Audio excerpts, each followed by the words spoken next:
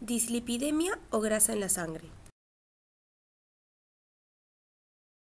Dislipidemia es el aumento de los lípidos en la sangre o el aumento del colesterol por encima de los valores considerados como normales.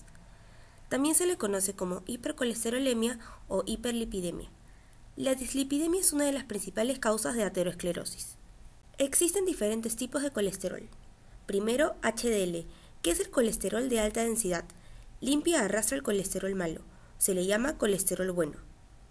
Luego, el LDL, que es el colesterol de baja densidad es el colesterol malo, es aquel que se adhiere a las paredes arteriales formando la placa ateroma o grasa. Por último, existe también el VLDL.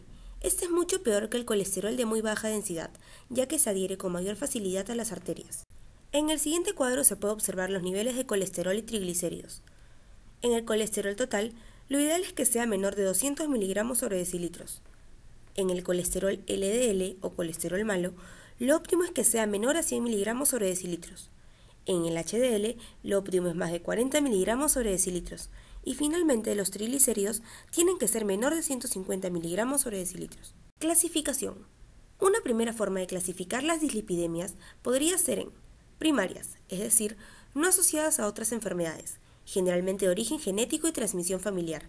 Es la forma menos frecuente.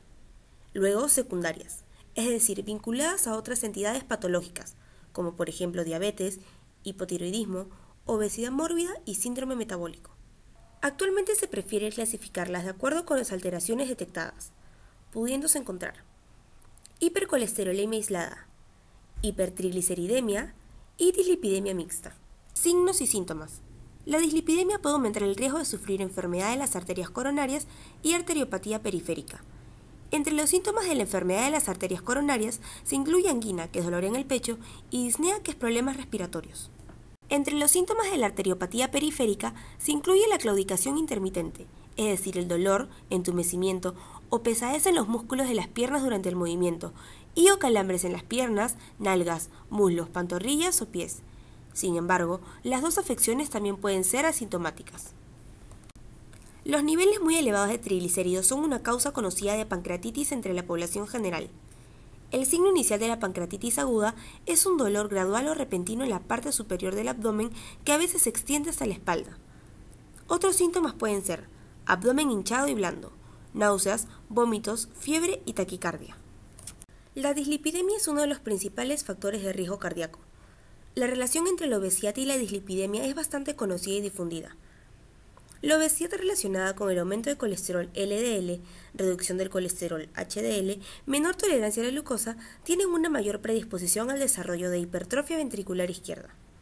Esto se debe a que el colesterol tiende a fijarse en las paredes de las arterias formando placas ateroma, que las van estrechando hasta obstruirlas. Si bien la afectación más estudiada y comentada es la de las arterias coronarias que llevan al infarto agudo de miocardio, en realidad puede ocurrir a nivel de todo el árbol arterial y llevar a la afectación de diversos órganos. La aterosclerosis y la aterosclerosis son patologías importantes que cuya incidencia en los últimos años ha ido en aumento.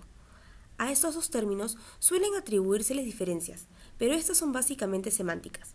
Así, una aterosclerosis se caracteriza por un engrosamiento de la íntima y un depósito de lípidos, y es una variante morfológica que queda bajo el término amplio de arteriosclerosis, mientras que la arteriosclerosis significa literalmente endurecimiento de las arterias. Sin embargo, se refiere a un grupo de enfermedades que tienen en común un engrosamiento de las paredes arteriales y una pérdida de su elasticidad. La aterosclerosis es la variante más importante y frecuente de la arteriosclerosis. En ese sentido, tiene particular importancia la relación colesterol total-colesterol HDL, considerándose un nivel seguro una relación no superior a 3.5. El tipo más común de hipercolesterolemia es el causado por un estilo de vida poco saludable. El 95% de las personas padecen este tipo de dislipidemia. Otro tipo de dislipidemia es la denominada hipercolesterolemia familiar. Su origen es genético y se observa en los integrantes de ciertas familias, inclusive en los niños. Este tipo de hipercolesterolemia es poco frecuente. Detección temprana de enfermedad. Lamentablemente no podemos hablar de prevención en esta enfermedad crónica, pero sí de detección temprana. El factor hereditario juega un rol muy importante por lo tanto, uno debe tener en cuenta las siguientes consideraciones. Si existen familiares consanguíneos directos con enfermedad, debemos hacernos un perfil lipídico una vez al año desde temprana edad. El diagnóstico precoz y el tratamiento oportuno es la clave para evitar complicaciones. Vida sana y alimentación saludable.